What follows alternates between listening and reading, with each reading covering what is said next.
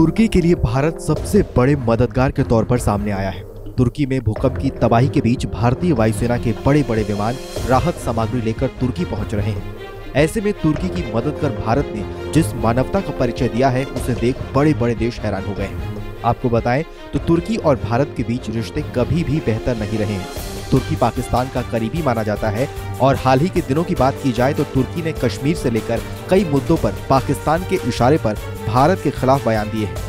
कई अंतर्राष्ट्रीय मंचों पर भी तुर्की भारत के खिलाफ खड़ा होता हुआ नज़र आया है।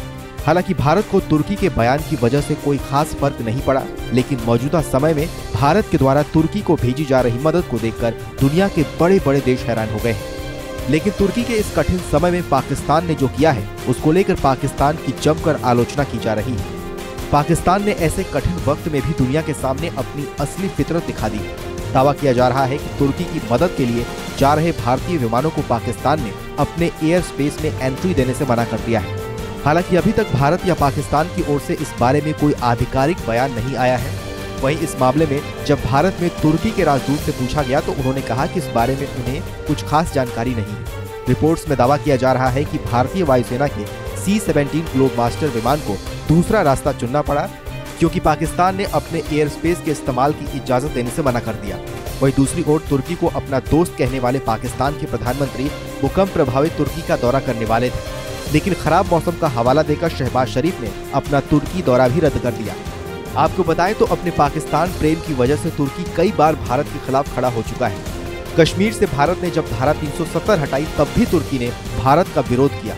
हालिया घटना की बात करें तो मई 2022 में तुर्की ने छप्पन टन भारतीय गेहूँ को लौटा दिया था। तुर्की ने कहा था कि गेहूँ में रूबेला वायरस पाया गया है, जबकि बाद में उसी गेहूँ को मिस्र ने खरीद लिया। कहा जा रहा था कि तुर्की ने राजनीतिक फैसले के तहत गेहूँ को लौटा दिया है।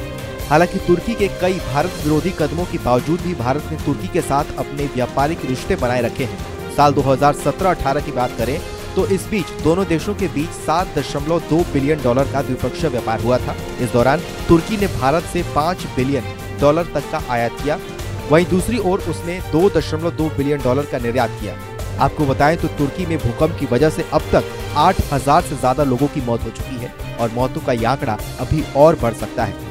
बहरहाल, हमारी इस खबर को लेकर आपकी क्या राय है? हमें कमेंट सेक्शन में ज़रूर बताइए। बाकी देश और दुनिया की अन्य बड़ी खबरों के लिए देखते रहिए आज तक डिजिटल